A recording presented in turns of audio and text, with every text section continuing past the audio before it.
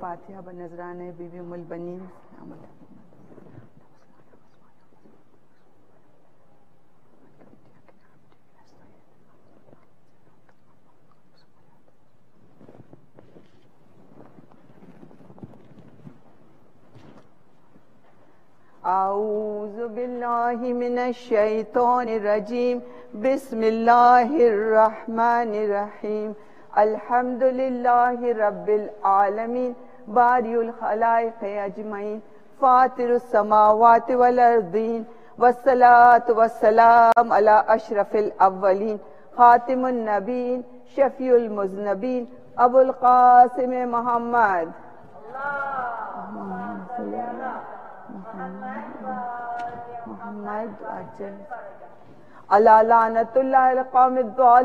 अम्मा बात फ़कत कल अल्लाह तबारक वाली किताब मुबीन।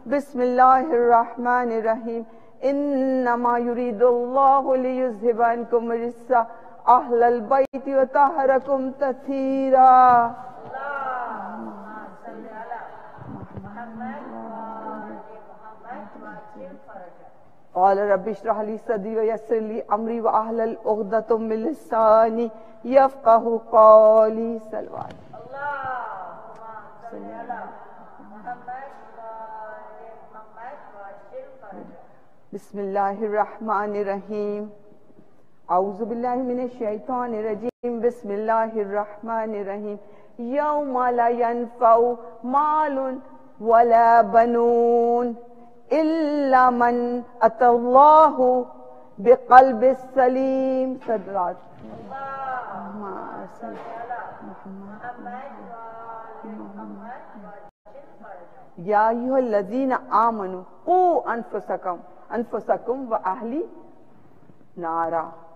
सलवाद पर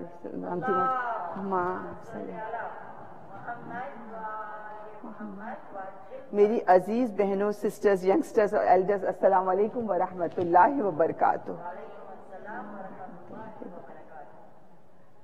व्हाट इज़ वफा? वफा क्या है? वफा एग्जिस्ट इन कल्ब सलीम। वफा कुर्बानी मांगती है, ईसार मांगती है। मादर अब्बास जनाब अमुल बनी ने वफा की वो मिसाल कायम की। आइए देखें कि सल्बे, कल्ब सलीम क्या है। रसूल खुदा मस्जिद नबवी में बैठे हैं, अतराफ में असहाब बैठे हैं। आप नसीहत कर रहे हैं, असहाब को नसीहत कर रहे हैं। आप फरमाते हैं कि तीन चीज़ें ऐसी हैं, अगर इंसान के दिल में हो if these three things will be exist in the human के दिल में हो तो वो कहते हैं, वो गुनाह का वसीला बन जाते हैं। वो गुनाह के तरफ़ इंसान को रागब करते हैं। These are the source of sins रसूल खुदा इशाद फरमाते हैं, मस्जिद नबवी में बैठे हैं, लोगों को नसीहत कर रहे हैं। आप फरमाते ये तीन चीज़ें ऐसी हैं, कोशिश करना कभी अपने दिल में ना आए। आपने फरमाया, सबसे पहले गुरूर तकबर एरगेंस कि वो क्या है? आप फरमाते हैं, गुरूर तकबर वो चीज़ है कि जो इंसान अपने आप को इतना बुलंद समझता है, वो सूखी हुई शाख के मानंद है। ट्री की दरख्त की सूखी हुई शाख के मानंद कि जिसे तोड़ा जाए मोड़ने के लिए मोड़ा जाए तो फ़ौरन टूट जाती है। इंसान, आपने मिसाल दी, आपने रसूल खुदा ने इशात माया गुरूर वो चीज़ है कि जिसको जिसने इबलीस को परवरदिगार आलम की बारगाह से निकलवा दी। उसने एक ही दफ़ा तो गुरूर किया था ना। इबलीस ने क्या कहा जब परवरदिगार आलम ने हज़रत आदम का पुतला बनाया, उसमें रूप होगी और फिर फरिश्तों को हुक्म दिया कि इन्हें इसे सजदा करो। तमाम सजदों, फरिश्तों ने सजदा किया। इबलीस ने क्या कहा था? इल्ला इबलीस। इबलीस ने सजदा नहीं किया। इबलीस ने क्या कहा? परवरदिगार आलम, मैं बर्तन हूँ। मैं आग से, तूने मुझे आग से बनाया है। वो मट्टी खाक से बना हुआ खाकी इंसान है। और अफजल बर्तर को, सजदा नहीं किया करता। तो रसूल खुदा शाह फरमाते हैं तकबर और गरूर इतनी बुरी चीज़ है। इंसान को गुनाह की तरफ़ ले जाती है। इबलीस जैसा जो कि जिसे खुदा की इतनी इबादत की थी कितनी बार जो कि फरिश्तों का मेंटोर था जो परवरदिगार आलम की बारगाह में कहते हैं, उसने इतनी इबादत की थी, मगर एक गुरूर की वजह से परवरदिगार आलम की बारगाह से उसे परवरदिगार आलम ने निकाल दिया।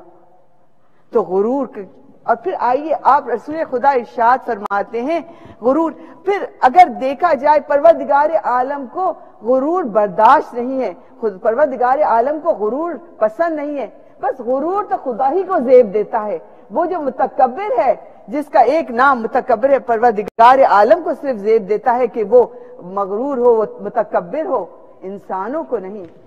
फिर आप फरमाते हैं, दूसरी चीज़, कोशिश करो कि तुम्हारे दिल में लालच, हिर्स ग्रीडीनेस ग्रीडीनेस बहुत बुरी चीज़ है। तुम्हारे दिल में कोशिश करो कि लालच, हिर्स ना आए। क्योंकि ये लालच ऐसी चीज़ है कि इंसान का पैमाना भरता ही नहीं है। उससे ज़्यादा, मुझे इससे ज़्यादा मिल जाए। मेरे पास गाड़ी भी है, अगर मेरे पास घर भी है, मेरे पास अच्छी जॉब भी है, बच्चे भी है, घर भी है, सब कुछ है, मगर मुझे इससे ज़्यादा चाहिए, मुझे ज़्यादा की हवस से बड़ा घर ले लूँ। छह महीने का इंतज़ार करूँ कि मैं इंतज़ार करती हूँ कि कब ये प्रोफेशनरी पीरियड कंप्लीट होगा और मुझे इंक्रीमेंट मिलेगा। तो आप फरमाते हैं, हिर्स लालच बहुत बुरी चीज़ है जो इंसान को गुनाह की तरफ़ ले जाती है। इसके लिए मैं आपको, आपके सामने डॉक्टर माइकल नॉटन की एक रिसर्च पेश करूँ कि वो कहता है, डॉक्टर नॉटन कहता है कि मैंने मैंने क्या किया कि मैं मैं ही समझता था कि जिस शख्स के पास वन मिलियन डॉलर होंगे, वो बड़ा खुश होगा, बड़ा मुतमिन होगा। और मैं ऐसे शख्स के पास गया जिसके पास वन मिलियन डॉलर थे। तो मैंने उससे सवाल किया कि तुम्हारे पास तो इतना पैसा है, तुम तो यकीनन बहुत खुश और सेटिस्फाइड होंगे। वो क्या कहता है it's okay whatever I have it's okay I wish I would have three times I wish कि मेरे पास तीन गुना होता। वन मिलियन के बजाय तीन मिलियन होता। डॉक्टर माइकल कहता है, मैंने सोचा अच्छा एक मिलियन वाला तो खुश और मुतमिन नहीं, शायद जिसके पास तीन मिलियन होंगे, वो मुतमिन होगा। फिर मैं ऐसे शख्स के पास पहुँचा, जिसके पास थ्री मिलियन डॉलर थे। मैं उस शख्स पे मैंने जाके यही सवाल किया, तुम कितने खुश नसीब हो? तुम कितने मुतमिन होगे? कहते वो डॉक्टर माइकल कहता शख्स ने पता है क्या कहा? उसने कहा, उसने भी यही जवाब दिया इट्स ओके काश I wish I would have three times मेरे पास दस लाख हो, दस टेन मिलियंस होते. कहते, मैंने फिर दस ऐसे शख्स के पास गया जिसके पास टेन मिलियन थे। जब मैं उसके पास गया तो उसने ये ख्वाहिश ज़ाहिर की कि मेरी सेटिस्फेक्शन के लिए मेरे पास थर्टी मिलियन होते। तब तो बात थी। यो कह, डॉक्टर माइकल कहता है, यहाँ तक कि मैं ऐसे शख्स के पास गया जिसके पास 300 मिलियन थे, उसने भी यही जवाब दिया, उसने भी यही कहा कि आई विश मेरे पास तीन गुना होता। तो ये हिर्स और ये ग्रीडीनेस ये लालच इंसान को तबाह कर देती है। इसकी, हिर्स की वो खत्म ही नहीं होती। और अगर देखिए, अगर हिर्स का वो देखना है तो हम कुरान से अगर देखें तो जुलकरनैन जो जुलकरनैन जब बादशाह थे, जो बहुत तो उनका, उन, उनको ये ये हिर्स थी कि मैं बस कॉन्कट खुदा की ज़मीन को कॉन्कट करता चला जाऊँ, उस पर कब्जा करता चले जाऊँ, और उन्होंने इस तरह किया भी। बहुत साथ खुदा की ज़मीन को बहुत कॉन्कट किया, कब्जा किया। बस उनको ये, उनकी वो ये, वही बात है कि पैमाना, जर्फ भरता नहीं, फिर और फिर और की तलाश फिर और ज़्यादा मिल जाए। यहाँ तक कि वो कहते हैं कि दुलकरनैन एक मरतबा इसी सफ़र पे रवाना हुए कि मैं जाके कहीं पर वो करूँगा कॉन्कर्ट करूँगा, उस पर कब्जा करूँगा। तो रास्ते में जब उन्होंने देखा, एक कब्रस्तान नज़र आया। उन्हें जब कब्रस्तान नज़र आया, उस कब्रस्तान में क्या देखते हैं? एक शख्स बैठा है और कुछ चुन रहा है। दूर से तो उन्हें समझ ना आया। उन्होंने अपनी सवारी को रुकवाया, जुल्करनैन ने, और कहा कि मैं इस कब्रस्तान में जाऊँगा और इस शख्स से पूछूँगा, ये क्या कर रहा है? तन्हाई में। कहते जुलकरनैन कब्रस्तान में आए, क्या देखते? वो कब्र, वो शख्स कब्रों के दरमियान बैठा हुआ है और इंसानी जिस्म की या जानवरों की हड्डियों को चुन रहा है, उनसे, उनको देख रहा है। तो जुलकरनैन ने सवाल किया, ऐ शख्स, बता दो, बता तू क्या कर रहा है? कहा बादशाह सलामत उसने वो समझ गया आपके प्रोटोकॉल से आपकी से कि आप कहा बादशाह सलामत मैं ये चाह रहा हूँ कि ये जो हड्डियाँ हैं इनमें से बादशाहों की हुक्मरानों की माल जो बहुत मालदार लोगों की उनकी हड्डियों का अलग कर दूँ अलग दबा दूँ दफना दूँ और जो गरीब बेकस नादार हैं उनकी अलग कर दूँ उनको अलग दब, दूँ कब्र में। तो बादशाह जुलकरनैन ने सवाल किया ए शख्स, बता तू ऐसा कर सका? क्या तूने पहचान लिया कि अमीरों की बादशाहों की इस कब्र कहा, नहीं, बादशाह सलामत मुमकिन ही नहीं है। कहते, वो जुलकरनैन के दिल पे वो वाक्य ने इतना असर किया कि आप इबादत इलाही में मशगूल हो गए। और आप परवदिगार आलम की बारगाह में तोबा की और आपने परवदिगार और आप खुदा के दिल करीब हो गए कुर्बत इलाही को हासिल करने के लिए आप इबादत इलाही में मशगूल है। सलवात पढ़।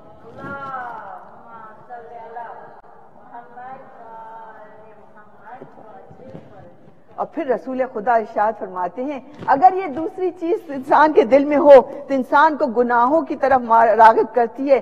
पहली तो था गुरूर तकबर और फिर दूसरी चीज़ है लालच। लालच का जिसका ज़िक्र किया। और तीसरी चीज़, रसूल खुदा इशाद फरमाते हसद, कीना। हसद? हसद क्या है? कौल मासूम है। हसद वो लकड़ी की मानंद है जो आग में जल जाती है। हसद इसी तरह इंसान को अंदर से जलाता रहता है। हसद बहुत बुरी चीज़ है। तो हसद पर रसूल खुदा इशाद फरमा रहे हैं कि अपने दिल से हसद को निकाल दो।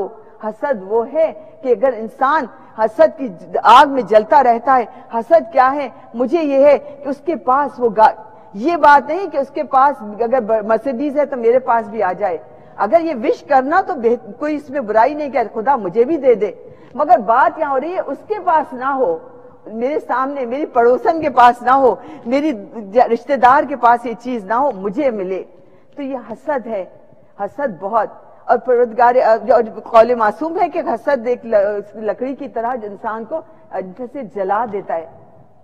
रसूल खुदा की जब मैंने ये पढ़ा, आप जब आप ये नसीहत कर रहे थे, वहाँ तो मुझे नहीं मिला।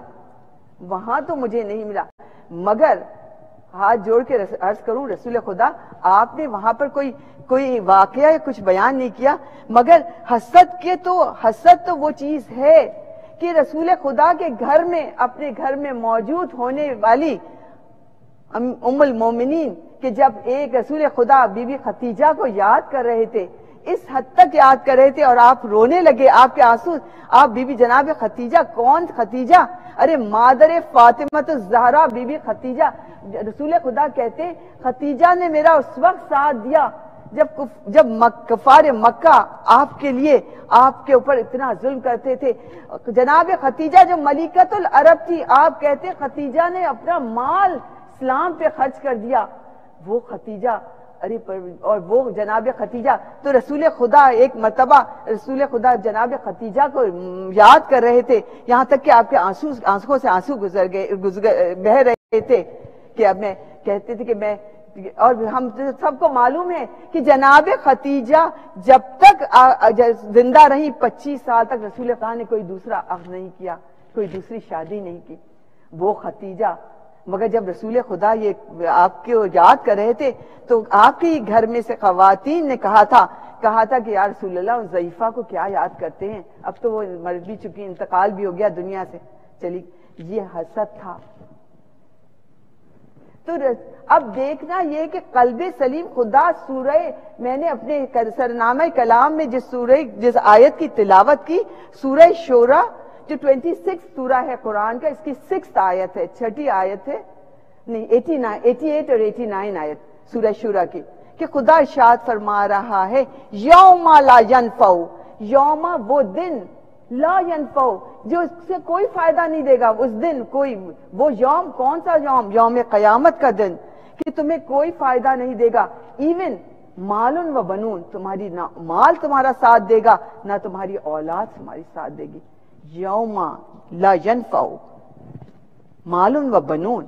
फिर आप, उसकी अगली आयत में इशाद हो रहा है परवदिगार आलम इशाद कर रहा है तस्वुर कीजिए कि खुदा कह रहा है, ला, मन, सिवाय इसके सिवाय इसके कल्ब सलीम के साथ जो परवदिगार आलम की बारगाह में हाजिर होंगे। तो देखना यह कि कल्ब सलीम क्या है। तो हमने ये तो देखा कि रसूल खुदा ने इशाद फरमाया कि देखो, अपने दिल से तकबर को, गुरूर को निकाल दो, हसद को निकाल दो, लालच को निकाल दो। और फिर अगर देखना यह है तो फिर इस दिल में हो क्या? तो ये हमें मादर अब्बास, बीबी उमल बनीन ने बताया कि वफा, जिस घर, दिल में दिल में वफा होनी चाहिए। आपके, इनके सारी होना चाहिए। और जनाब उमल बनीन बता रही हैं कि दिल में से आप हर चीज़ को, बुराई को निकाल दें। कल्बे जो दूसरी आयत में है कि कल्बे सलीम, वो वो प्योर हार्ट है। वो इतना पाक और पाकिजा दिल है, जिसमें कोई बुराई नहीं होगी। जिसमें होगी तो वफा ईसार, कुर्बानी। तो हमने देखा ये तो आइए, अगर बीबी उमल बनीन को हम इस मीजान में रखें, मीजान में रख के तोले, अगर अगर हम जो रसूल खुदा बता रहे हैं, कि रसूल खुदा इर्शाद फरमा रहे हैं, कि देखो, गुरूर ना करना तो अगर बीबी उमल बनीन को इस मीजान में रखे देखें तो हमारी जाने कुर्बान हो बीबी उमल बनीन पर, कि आपकी हम्बलनेस देखे, आपकी इनके सारी देखे, कहाँ का गुरूर, कि जब रसूल, जब अमीर मोमिनीन के घर में शादी होके आई हैं, अख्त होके अमीर मोमिनीन की जोजा हैं, अरे साकिय कौसर की जौजा बन के आई हैं। और वो शाफिय महशर की जौजा बन के आई हैं और उमुल बनीन आते ही देवड़ी पे बैठ जाती है। जनाब सैयदा के दर पे आते ही देवड़ी पे बैठ जाती है। आपकी देवड़ी को चूमती हैं, प्यार करती हैं और कहती और बच्चों को बुला के क्या कहती हैं? अरे हसनैन को और जैनब कुलसुम को बना के, बुला के क्या कहती हैं? बच्चों, में तुम्हारी कनीज बन के आई हूँ। अरे मैं फातिमा जहरा बिनते रसूल की कनीज हूँ। मैं तुम्हारी माँ बन के नहीं आई हूँ।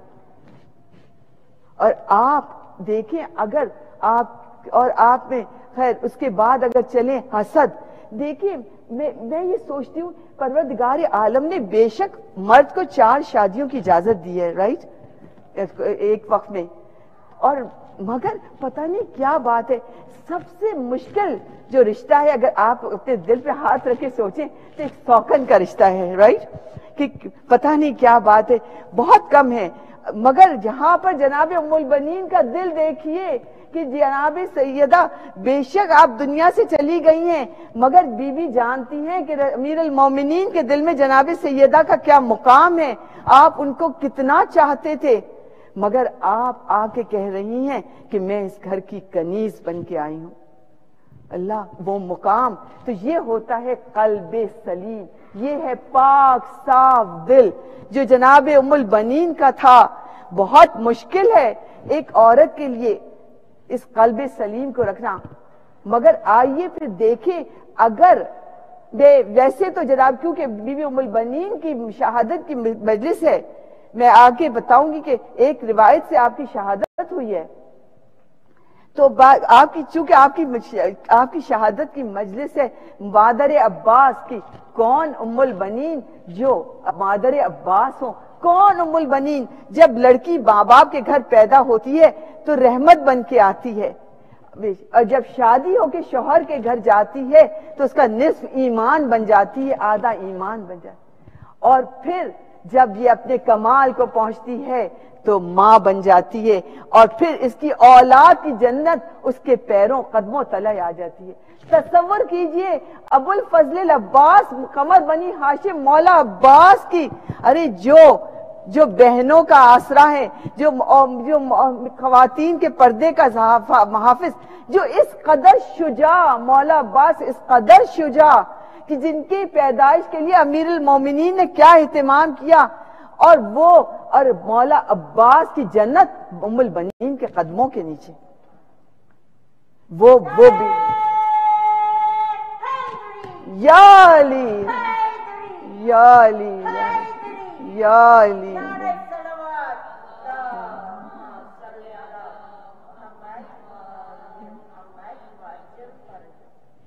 बीबी उमुल बनीन, वो अजीम खातून है, वो अजीम बीबी हैं। जो बैत अहले बैत से बाहर से आई थी, आपकी आपकी ज़िंदगी से यूँ तो इतने दर्श हम औरतों को मिलते हैं, इतने दर्श मिलते हैं, मगर आज यहाँ पर दो का ज़िक्र हो जाए कि हम इस फर्श अजा से बीबी उमुल बनीन के वो दर्ज लेके उठे कि आपने आपने हम माओ को सिखाया कि औलाद की तरबियत किस तरह करनी होती है। अल्लाह अल्लाह, औलाद की तरबियत किस तरह करनी होती है? हमें बीबी उमुल बनीन सिखा रही हैं। जैसे आज के दौर में, स्पेशली आज के दौर में हमने देखा, हम माओ के लिए ये पुराशोभ दौर है, बहुत मुश्किल दौर है। हम माए यही परेशान रहती हैं कि हम अपनी औलाद की तरबियत किस तरह कर दें, कि सुरात मुस्तकीम पे कायम रहें। नमाज़ अदा करें। अगर मैं समझती हूँ, अगर किसी माँ से पूछा जाए कि आपकी ख्वाहिश क्या है, कि आपकी बेटा, आपकी बेटी, आपके बेटा, अगर नमाज़ आपके माशाल्लाह से अहले बैत के दर से वाबस्ता हैं, मगर सेकुलर एजुकेशन भी बहुत अच्छी हासिल करें, मगर अगर आपका दिल क्या चाहेगा कि आपकी औलाद नमाज़ अदा करे, नमाज़ को वक्त पे अदा करे, नमाज़ को पढ़े, नमाज़ कजा ना करे नमाज़ जो कहते हैं कि वो नमाज़ अगर नमाज़ कबूल हो गई तो सारे अमाल कबूल हो जाए। नमाज़ तो माए खास तौर पे। और जब हम बच्चे छोटे होते हैं तो हम यही सोचते हैं ना कि बच्चों से कहते रहते हैं कि नमाज़ पढ़ो बेटा, नमाज़ और वक्त। तो आइए इसके लिए एक आपको एक ऐसी रेमेडी ऐसी कुंजी बताऊँ कि जिसके लिए, जिसको बहुत आजमाया गया है। कि अगर बच, कहते हैं, ये ये पहले तो मैं वाकया बना, बयान करूँ कि मेरी एक दोस्त का साथ हुआ था ये वाकया। उसने ये बहुत पहले की बात है। जब मेरे बच्चे बहुत छोटे थे, शब्बीर पैदा ही हुए थे खास तौर पे। तो क्या उस वक्त का वाक्य वो कहती है कि मैं अपनी दो, हम लोग अपनी फैमिली फ्रेंड के घर वीकेंड पे गए, दूसरे नेक्स्ट दूसरे स्टेट आई थिंक मैरलैंड से न्यूयॉर्क गए थे वो लोग न्यूयॉर्क तो जब कहते कि रात को जब हम अपने दोस्त के घर हम लोग पहुँचे, ज़ाहिर है दोनों दोस्तें बहुत अरसे बाद मिली थी, सारी रात बैठे हुए बातें करते रहे हम दोनों, मैं और मेरी दोस्त बातें और उनके बच्चे भी, क्योंकि वीकेंड था तो बच्चों को स्कूल नहीं जाना था तो बच्चे भी बहुत देर तक जागते रहे, बहुत हमारे साथ बैठे हुए, वो लोग खेलते रहे बच्चे, यहाँ तक के बच्चे तो जाके सो गए, मगर हम दोनों ने ये सोचा कि बस अब नमाज़ फजर पढ़कर ही सोएँगे। वो कहती है, हम लोग रात भर बात करते रहे। यहाँ तक कि वो के, मेरी दोस्त ने बताया कि हम लोग सब फजर का वक्त हुआ। मैं और मेरी दोस्त गए, हम वज़ू करने गए। वज़ू करके जब हमने बाहर आए तो वहाँ नमाज़ की जगह थी उसके कम, घर में। तो वहाँ जाके हम नमाज़ पढ़ने के लिए खड़े हुए। तो वो मेरी दोस्त कहती है, मैं हैरान रह गई कि जो बच्चे रात को इतनी देर तक जाग रहे थे, वो अपने कमरों से वज़ू करके निकलते रहे। उसके बेटा बेटी और जानमाज की तरफ़ आते रहे और नमाज़ पढ़ रहे मैंने पूछा मैंने पूछा ये तो बता दो तुमने क्या क्या क्या अमल किया क्या वो किया कि बच्चे इतने नमाज़ के वक्त तो कहती वो उसने कहा कि मैंने मेरे, मैंने अपनी शादी से पहले किसी आलिम से ये कहते हुए सुना था। वो आलिम कह रहे थे कि अगर तुम चाहते हो कि तुम्हारी औलाद नमाज़ कायम करे नमाज़ पढ़े तो तुम सूरह इब्राहिम जो कि कुरान शरीफ का चौदवा सूरा है फोर्टीन सूरा, उसकी चालीसवीं आयत, जिसमें इर्शाद हो रहा है रब अलनी मुकीम सलात रबना तकबल दुआ। वो कहती है, उन्होंने कहा, उन आलिम ने कहा कि अपने सजदे में ये दुआ पढ़ा करो, ये आयत पढ़ा करो। रब अलनी मुकीमती रबना तकबल दुआ। कहती है, मैंने शादी से पहले पढ़ना शुरू कर दिया था। कि आप ये ये आयत इतनी पावरफुल है मैं बत, कहते हुए बहुत डर रही हूँ। इतने लोगों को फिर मैं उसने बताया मैंने बताया। और फिर यकीन करें कि बच्चे नमाज़ पढ़ने लग जाते हैं। ये सूर्य इब्राहिम की फोर्टी चालीसवीं आयत है। सूर्य अब सजदे में चाहे आखिरी सजदे में करें आखिरी या सजदे में सुबह रबिल आला हमदही पढ़ने के बाद रब जलनी मुकीमती रबना तकबल दुआ, ये पढ़ें। और फिर ये कि कोशिश करें, ये ये हम सबका आजमाया हुआ है कि हर बच्चे के कमरे में जानमाज बिछा दें। हर बच्चे के कमरे, अपने कमरों में भी। एक जगह तो है, यकीनन हमें पता है, कहते हैं कि जिस जगह जानमाज बिछी होती है, वहाँ रहमत के फरिश्ते आते हैं। तो कोशिश ये करें कि अपने बच्चों के हर कमरे में जानमाज या जमाज की जगह बना दें। आप देखिए फिर, और ये दुआ पढ़, ये आयत कुरान पढ़ते रहिए।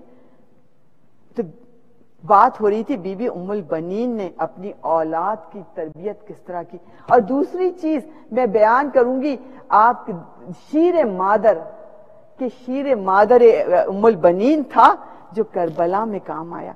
अलगज, अभी बात हो रही है कि जनाब बीबी उमुल बनीन ने अपने औलाद की तरबियत कैसे की? तस्वुर कीजिए कि जब अमीर मोमिनीन मौला अब्बास की पैदाइश का वो एहतमाम कर रहे हैं। जिस तरह रसूल खुदा ने जनाब सैदा की पैदाइश का एहतमाम किया था ना, कि रसूल खुदा को महराज में बुलाया था, नूर जनाब सैदा रसूल खुदा को फल की शक्ल में दिया गया था, जो सुल्ब रसूल खुदा से, बीबी खतीजा में आया था। तो यहाँ हम देखते हैं कि अमीर मोमिन हज़रत अब्बास की पैदाइश का क्या एहतमाम कर रहे हैं। आप अपने भाई अकील से कहते हैं ना भैया अकील, कोई ऐसा कबीला, कोई ऐसा घराना तलाश कीजिए, कोई ऐसा घराना तलाश कीजिए जहाँ मैं अक्त करूँ और मेरे पैदा, मेरी औलाद इस कदर शुजा होगी। मैं हाथ जोड़ के अर्ज़ करूँ कि अमीर मोमिन से बड़ा भी कोई शुजा हो सकता है? कोई शुजा अमीर मोमिन से जो जरे खैबर को जो हाथों पे उठा ले तो पता ये चला कि अमीर मोमिन इसलिए भी कह रहे थे कि कहते औलाद में दोनों का असर आता है, माँ और बाप के खून का असर आता है। क्योंकि जब जगह सिफीन में याद है, जब मोहम्मद हनफिया अमीर मोमिन के ही बेटे हैं, आप फर्जंद हैं, और जब तीरों की बारिश हो रही थी सिफीन में अमीर मोमिन ने मोहम्मद हनफिया से कहा, बेटा, जाओ। तो आपने कहा, बाबा, जरा ठहर जाए, तीरों की बारिश है। तो आपने अपने बेट फर्जन मोहम्मद हनफिया के शाने पे हाथ थपथपाया था। कहा था, बेटा, ये तुम्हारी माँ से आया इसीलिए थे तो अमीर मोमिन के बेटे, वो शुजा, मगर कभी कभी होता है कि तो इसीलिए अमीर मोमिन ने हज़रत अब्बास की पैदाइश के लिए वो इतमाम किया कि जनाब उमुल बनीन के लिए कि आप अपने भाई से कहा वक्त बहुत कम रह गया आपने अपने भाई से कहा कि कोई ऐसा घराना तलाश करें जो जो इतना शुजा घराना हो। मैं आगे, मैं तो बस यही हाथ जोड़ के अर्ज़ करूँगी, मौला, आपने तो शुजात तो अब बेशक आपने शुजात ढूंढी थी, मगर आपने तो वफा, वफाए उम्मल बनीन को देखा था। कि हज़रत अकील, फिर जनाब अकील अमीर मोमिन को बताते हैं कि कबीला कलाबिया है, जिसमें एक बेटी, उनकी बेटी फातिमा है, और आप, आपने तो अमीर मोमिन एक तो ये भी चीज़ हमें बता रहे हैं कि अब आपस में लोगों से डिस्कशन करना चाहिए, बड़ों से मशुरा करना चाहिए, इस्तेशारा करना चाहिए जब शादी के मामले में। मगर जब जनाब अकील को आप अमीर मोमिन बीबी फातिमा कलाबिया के घर भेजते हैं तो वहाँ की रिवायत थी इसकी रिवायत थी कि अरबियों के, अरब अरब में ये रिवायत थी कि जब कोई मेहमान आता तो उसे तीन दिन तक मेहमान रखा जाता। मैं बहुत तेज़ी से बोलना चाह रही हूँ, टाइम बहुत हो गया। तो बहरहाल तो तीन दिन मेहमान रहे, फिर जनाब अकील ने अपना मुद्दा बयान किया अलगर्ज के, उस और जनाब, उसी दिन बीबी उमल बनी ने ख्वाब भी देखा था, ये तो हम बार बार सुन चुके हैं कि कमर आपके गोद में चाँद आया, वो तो जब जनाब अकील उनके वालिद के घर बीबी फातमा बिन हजाम के घर, जनाब हजाम के घर गए हैं और रिश्ता दिया है तो कहते हैं वो उठ के अपनी जगह से खड़े हो गए कि अमीर मोमिनीन का रिश्ता मेरी बेटी के, आप अपनी जौजा के पास गए, उससे पूछा कि क्या तुमने इसकी तरबियत ऐसी की है कि अमीर मोमिनीन के घर की जौजा बन सके? आपकी जोजा ने कहा, बेशक मैंने इसी अंदाज से इसकी तरबियत की है। और और रिवायतों में मिलता है, आपकी उम्र शायद 20 साल या 18 या 17 की थी।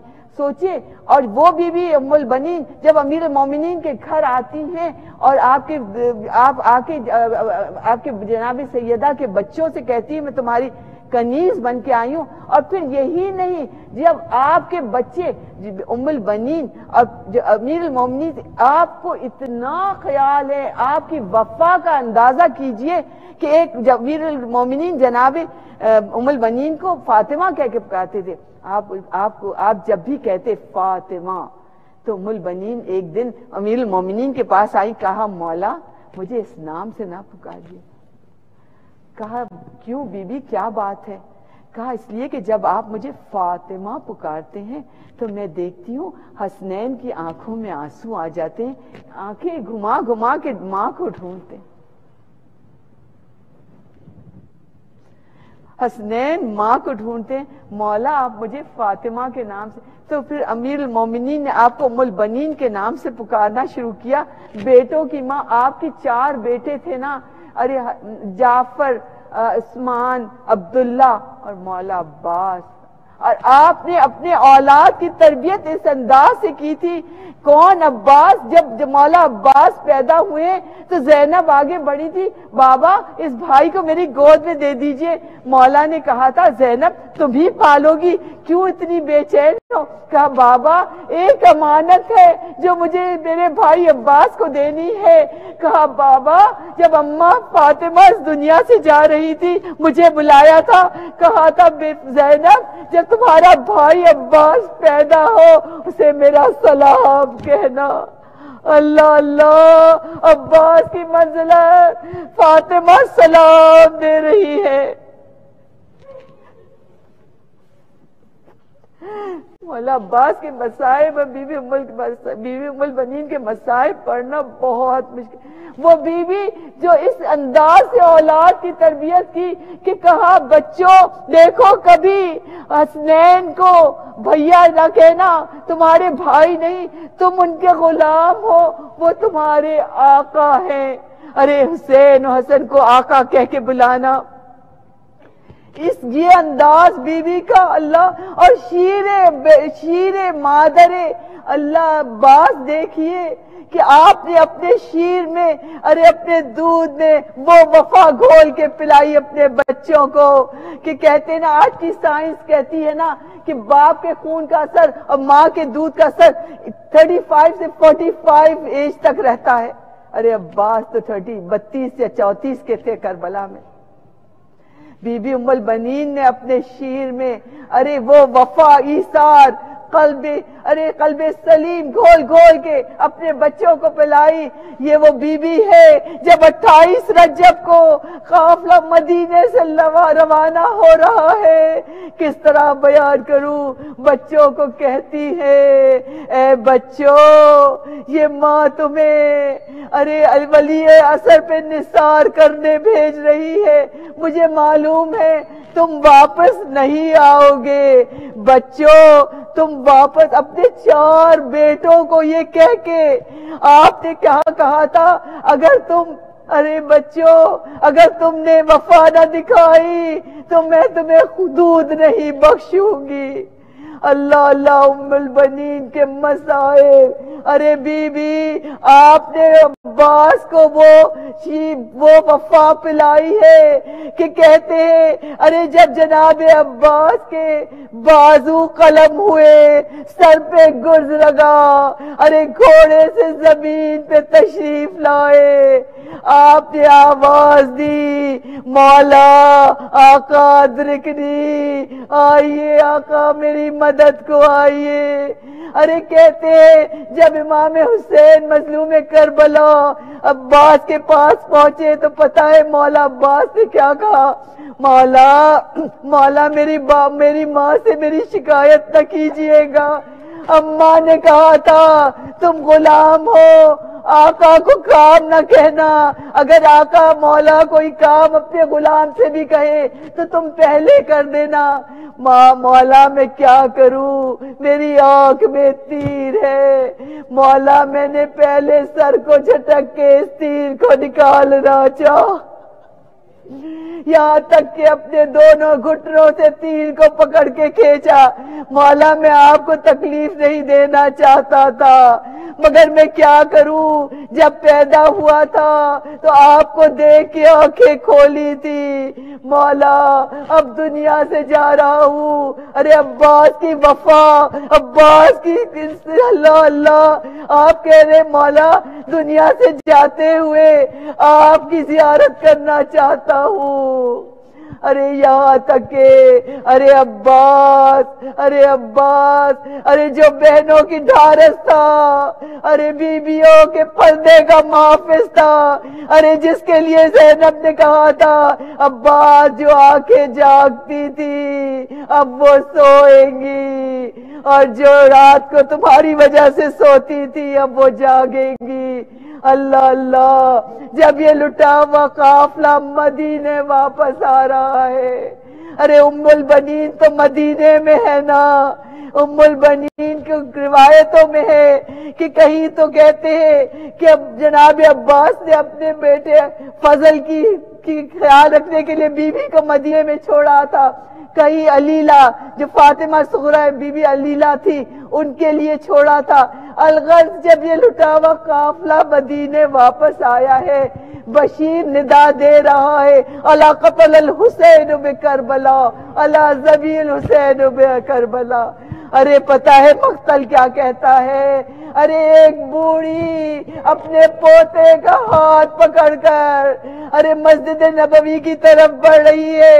ए बशीर, ये किसकी सुनानी लाया है? ए बशीर, ये कौन हुसैन कत्ल हो गया? जैसे जैसे ही बशीर ने उमल बीबी उमल बनीन को देखा, कहा, बीबी, आपको आपके बेटे जाफ़र का पुरसा देता हूँ। कहा, नहीं मैंने पूछा, ये कौन हुसैन शहीद हुआ? कहा, मैं आपको आपके बेटे उस्मान का पुरसा देता हूँ।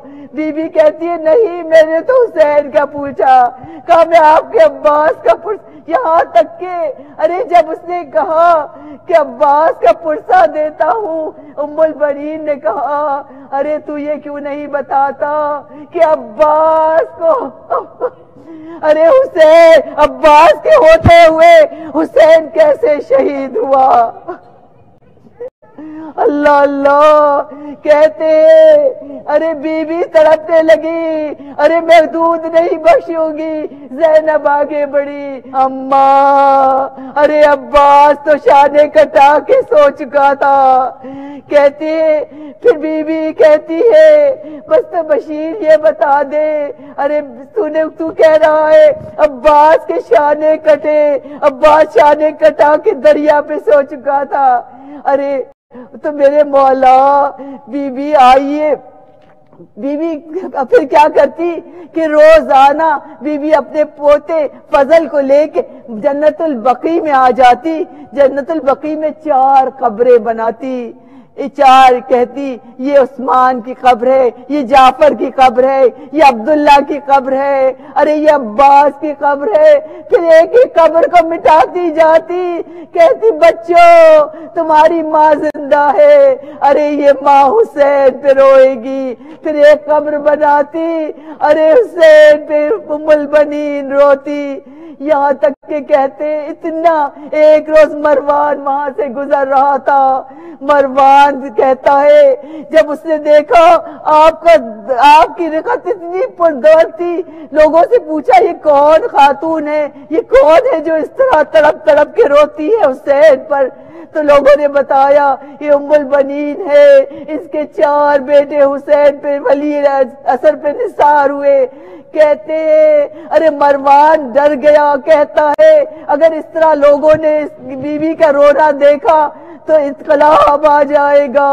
इसका किसी तरह से शहीद करो। कई रिवायतों में मिलता है, मुझे नहीं मालूम, इससे आगे नहीं मिला। अरे जालिमों ने बीबी के साथ क्या किया?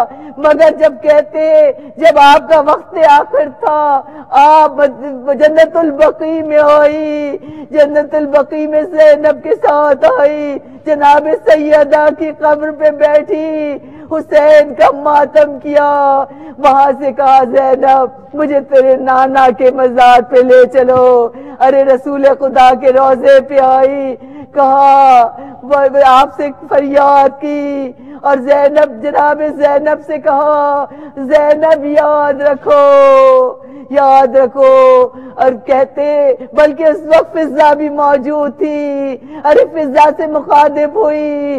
फिजा बस याद रखो। अस्सलाम या अब्दुल्ला कहते रहना। अरे, हुसैन पे सलाम करते रहना। अल्लाह अम्मा बात अल्लाह तबारक। परवदिगार आलम, तेरी बारगाह में दस बदुआ है कि आँसू जिस फर्श अजा पे हमने अरे उमुल बनीन के मसाइब अब्बास पे अल्लाह बहाए। जनाब सैयदा के रुमाल की रौनक बन जाए। परवदिगार आलम, तू हमारे हमारा वारिस पर्दे गैब में है। उसे इसने जहूर दे दे।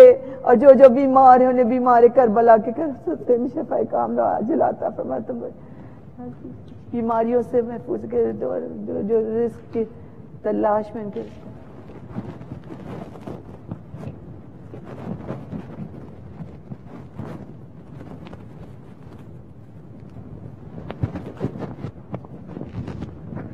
हुसैन हुसैन हुसैन हुसैन हुसैन हुसैन हुसैन हुसैन।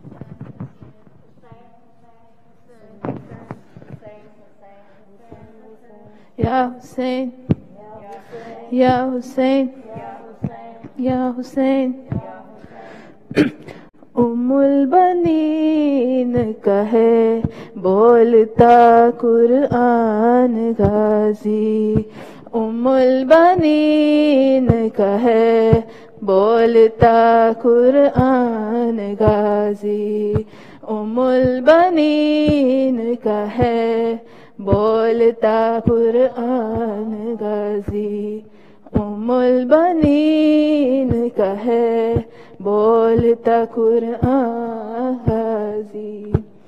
जहाँ बुलंद अलम है, जहाँ बुलंद अलम है, वहाँ वहाँ हाजी उमुल बनीन कहे बोलता कुरआन हाजी। उमुल बनीन कहे बोलता कुरआन हाजी। उमुल बनीन कहे बोलता कुरआन हाजी। अलम अब्बास कहे आसरा जहानों का। अब्बास कहे आसरा जहानों का। है सजदा देते अलम पे, है सजदा देते अलम पे।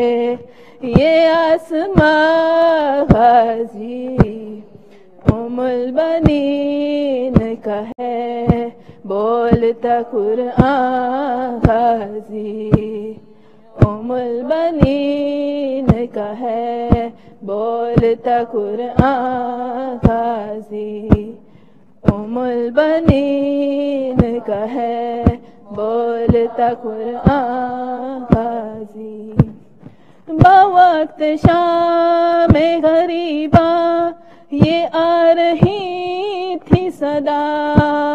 बवक्त शाम गरीबा ये आ रही थी सदा। खयाम जल चुके हैं। खयाम जल चुके हैं। हो तुम कहा गाजी? उमल बनीन कहे, बोलता कुरआन गाजी। उमल बनीन कहे बोलता कुरआन गाजी उमल बनीन कहे बोलता कुरआन गाजी कुछ इस तरह से चले, गाजी सुए नहर फुरात। कुछ इस तरह से चले, गाजी सुए नहर फुरात। वफा पहनास तेरी वफा पहनास जैनब की माँ गाजी उमल बनीन का बोलता कुरान हाजी, उमल बनीन का है, बोलता कुरान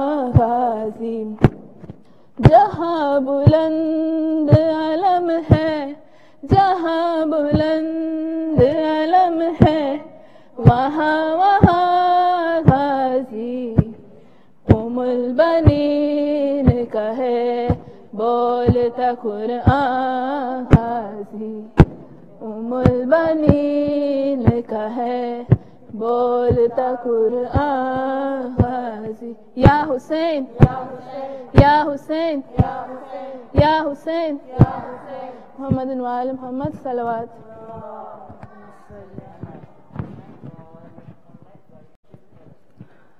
बिस्मिल्लाहिर्रहमानिर्रहीम अल्लाहुम्मा सल्लि अला मुहम्मदिन व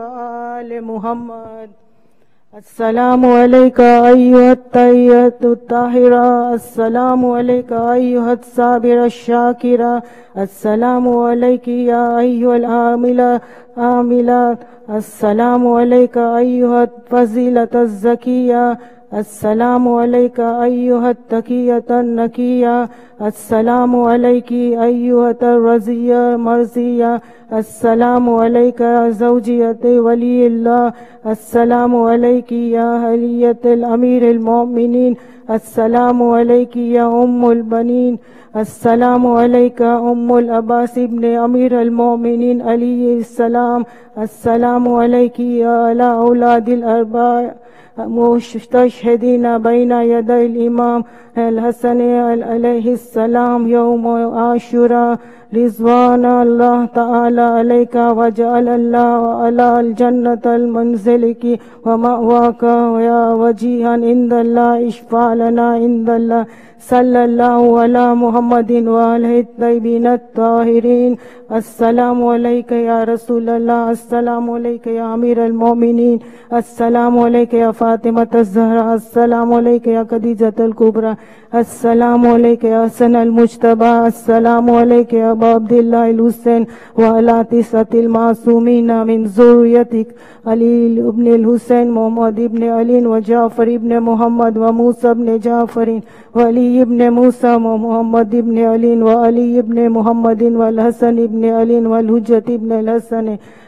अज्जल्ला फ़रजल्ला सल्ला मकरजा व सहूर असलकम वरहमल वबरक अल्लाम सल्ला मोहम्मद वाल मोहम्मद वजिल फ़रजम अल्लाहुम्मा कुली वलीकल हजत इब्नल हसन सलवातुका अलैहि वाला बाई